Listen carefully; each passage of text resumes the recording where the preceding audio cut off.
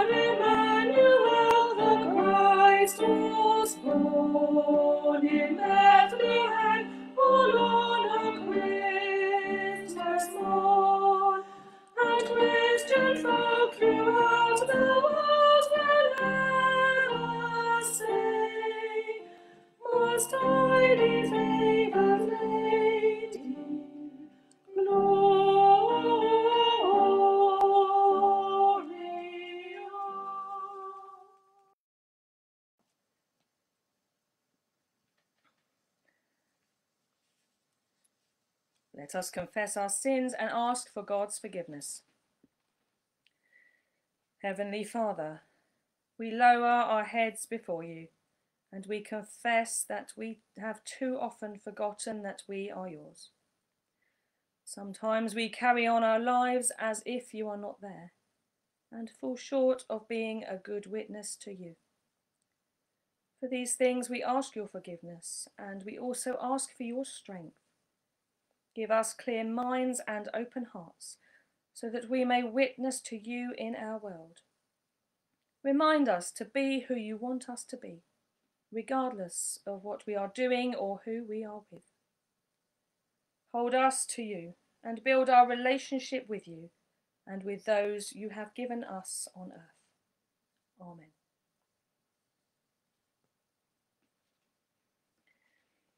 Some words from the second book of Samuel. Now, when the king was settled in his house, and the Lord had given him rest from all his enemies around him, the prophet Nathan, see now, in a tent. Nathan said to the king, Do all that you have in mind, for the Lord is with you. But that same night the word of the Lord came to Nathan Go and tell my servant David, Thus says the Lord, Are you the one to build me a house to live in? I have not lived in a house since the day I brought up the people for, of Israel from Egypt to this day. But I have been moving about in a tent and a tabernacle.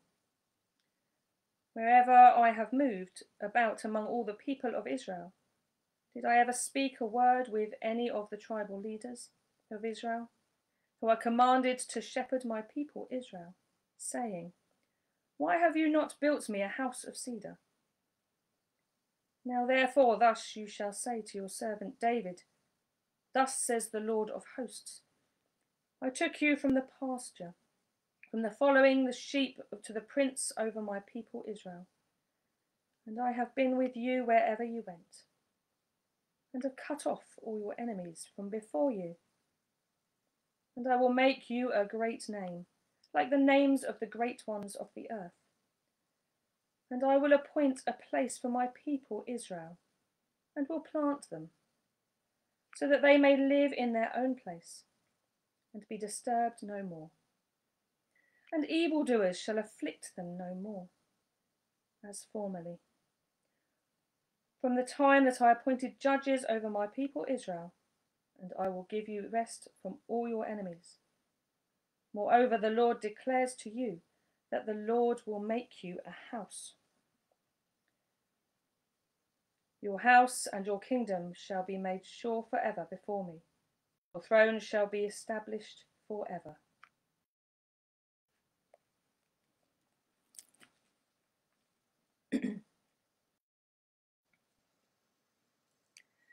Here words from the Gospel according to Luke. In the sixth month, the angel Gabriel was sent by God to a town in Galilee called Nazareth, to a virgin engaged to a man whose name was Joseph, of the house of David. The virgin's name was Mary. And he came to her and said, Greetings, favoured one. The Lord is with you. But she was much perplexed by his words and pondered what sort of greeting this might be. The angel said to her, Do not be afraid, Mary, for you have found favour with God. And now you will conceive in your womb and bear a son, and you will name him Jesus. He will be great and will be called the Son of the Most High, and the Lord God will give him the throne of his ancestor David. He will reign over the house of Jacob forever, and of his kingdom there will be no end. Mary said to the angel, How can this be, since I am a virgin? The angel said to her, The Holy Spirit will come upon you, and the power of the Most High will overshadow you. Therefore, the child to be born will be holy. He will be called the Son of God. And now your relative Elizabeth, in her old age, has also conceived a son. And this is the sixth month for her, who was said to be barren. For nothing will be impossible with God. Then Mary said, Here I am, the servant of the Lord. Let it be with me according to your word. Then the angel departed from her.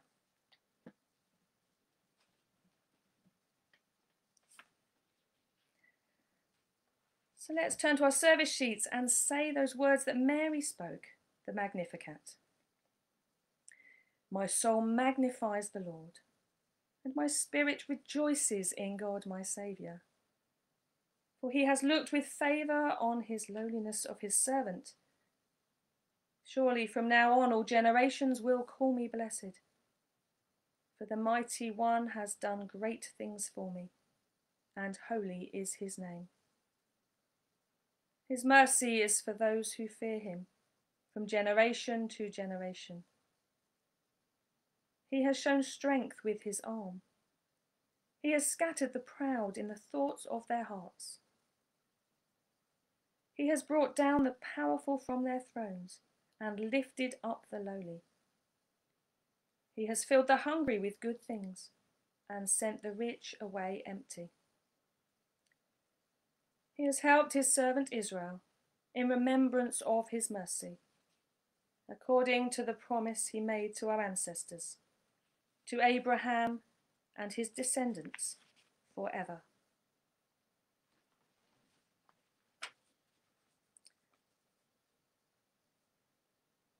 May these words be in the name of God, Father, Son, and Holy Spirit. Amen. Mary said yes. God asked her to bring Jesus into the world, and she said yes. She did what she was asked to do.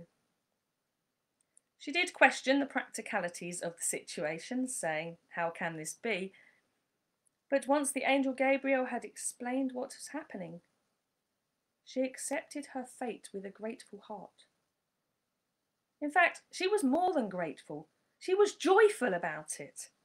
So joyful that she said those words that we now know of as the Magnificat. Beginning, my soul magnifies the Lord, and my spirit rejoices in God my Saviour. Mary said yes. Mary knew she wouldn't just have the role of carrying Jesus through pregnancy.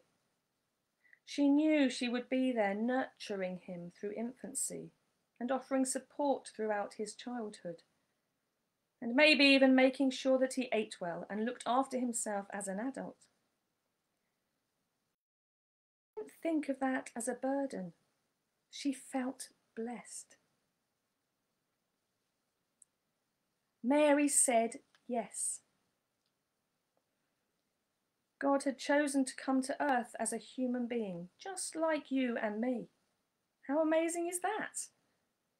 God coming to earth as a normal person and experiencing the human life. Mary would have known the Jewish scriptures, but she still may well have thought that the angel Gabriel was bonkers for suggesting that it was her who would help to fulfill them.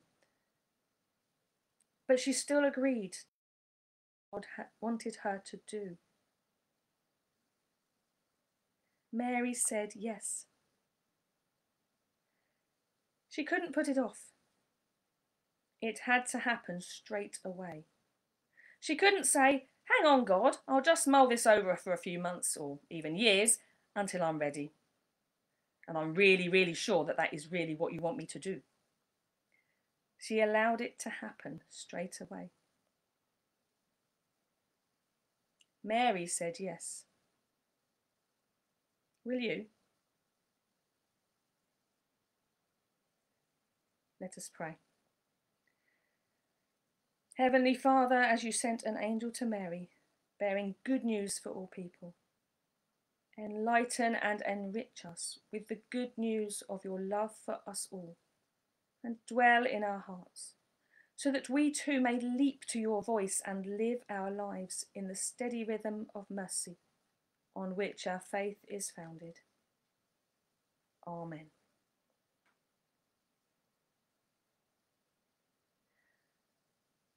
So let's join together and profess our faith with the words of the Creed.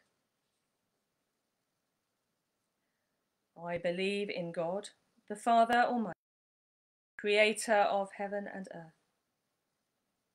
I believe in Jesus Christ, his only Son, our Lord, who was conceived by the Holy Spirit, born of the Virgin Mary, suffered under Pontius Pilate, was crucified, died, and was buried. He descended to the dead. On the third day he rose again. He ascended into heaven.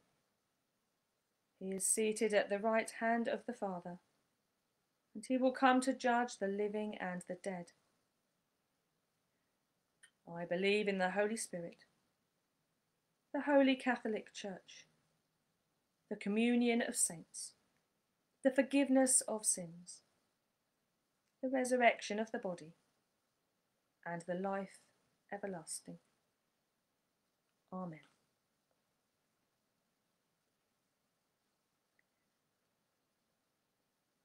Now we come to our prayers. Let us pray.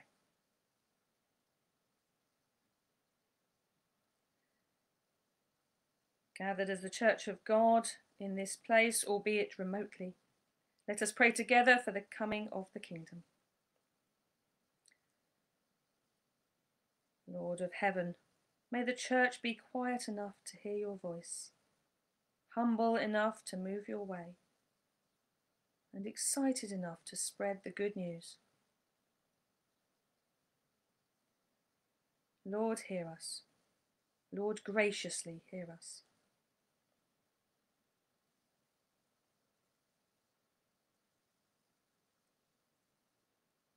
Lord of heaven, bless all who lead with integrity and respect for others. Bless all in positions of authority with humility and a sense of right.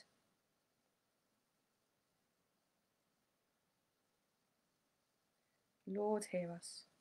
Lord, graciously hear us.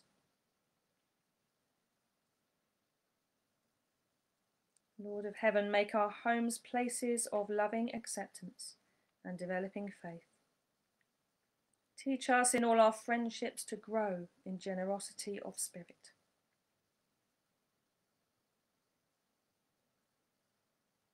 Lord, hear us. Lord, graciously hear us.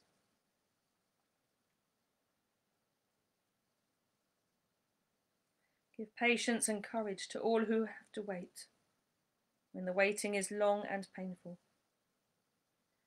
Bring healing to all who are wounded, whether physically, emotionally, or spiritually. Them assurance of your presence. Lord, hear us. Lord, graciously hear us. Welcome into eternity all those who have died. Comfort those who mourn. May they know your love.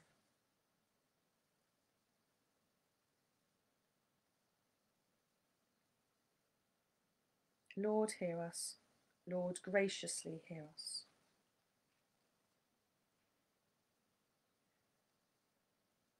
Lord of heaven, we thank you for your faithful promise to us, fulfilled in the coming of Jesus. We welcome him into our lives. Lord, hear us. Lord, graciously hear us. So now let's join all our prayers, our thoughts, our hopes and dreams for the future together in the words of the Lord's Prayer. Our Father, who art in heaven, hallowed be thy name. Thy kingdom come, thy will be done, on earth as it is in heaven.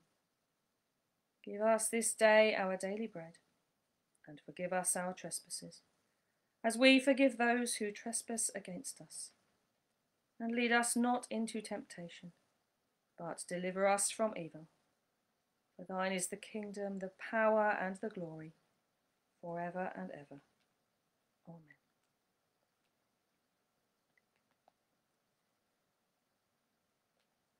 And so we're going to sing together again.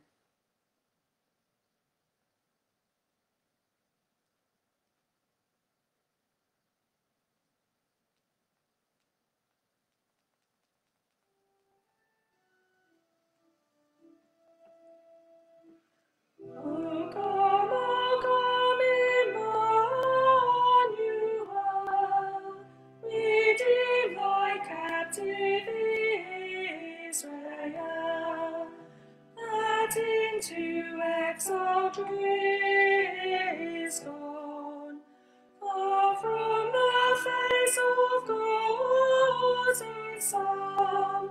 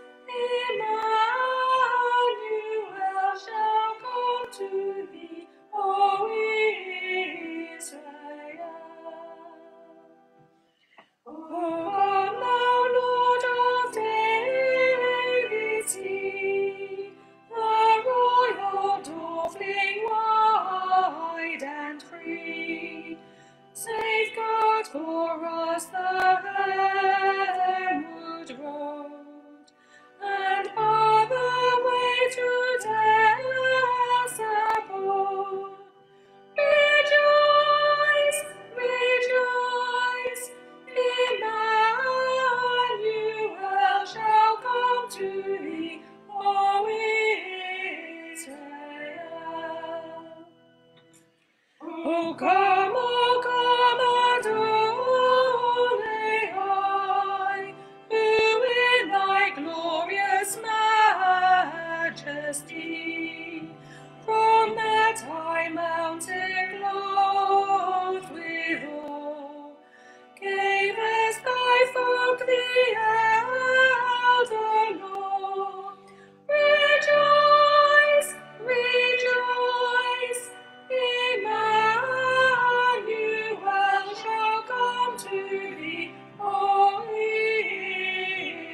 So